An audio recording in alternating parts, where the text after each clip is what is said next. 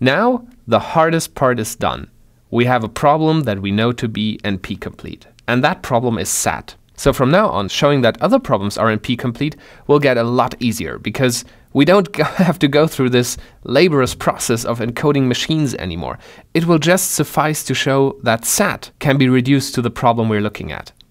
So we can use SAT to show other problems to be NP-complete now, and once we have shown these problems to be NP-complete, we can use them as well to show, again, other problems to be NP-complete. So we're basically building this whole tree of NP-complete problems using SAT as a seed problem, and it will just suffice to show these reductions here. We do not have to do the same tedious steps of Boolean formula encoding anymore, because we already know SAT to be NP-complete now. So let's take one step back now with our next quiz. So what happens if you show one NP-complete problem to be solvable in polynomial time? And by solvable in polynomial time, of course, I mean on a deterministic RAM. Would that mean that some problems in NP can be solved in polynomial time? Again, we're talking about a deterministic RAM here. Would it mean that all NP-complete problems are solvable in polynomial time? Or would it mean that all problems in NP are solvable in polynomial time?